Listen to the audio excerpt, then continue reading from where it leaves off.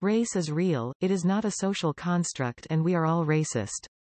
Race is a reality that we cannot ignore or wish away with pithy catchphrases like, it's a social construct. Race in its current form is defined and used as a governing tool of our elected officials, many of whom represent the ruling class.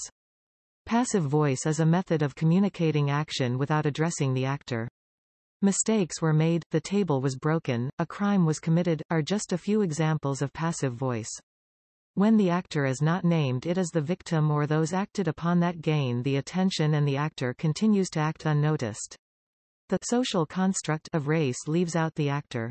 Our modern notions of race comes directly from our United States government. Thomas Jefferson, in his notes on Virginia first baited race. With questions about how much the Indians differed from his white race. The United States government has clearly defined race as it has deemed it important to do so. Racism is the economy where race is the currency. Much like our monetary system where each denomination has a set value, as determined by the government and its Federal Reserve, such is the value of race in a society. In a system where race is the currency if you declare to have a race, denote your race on forms, or even embrace the notion of having a race you are a user. As a user of the system you gain benefits or access and thus are racist. More on this later. We, in the USA, are all racist. Why bring this up? We have to look at how and why race is used by the government to keep us at odds, confused and fighting for scraps. New tools for using race. Reverse discrimination is a tool to keep the proletariat fighting among each other. Hashtag MeToo has been weaponized to undermine the very injustices it was to bring to light. It seems that nonprofits and governments are hiring activists, seeking to capitalize on their activism.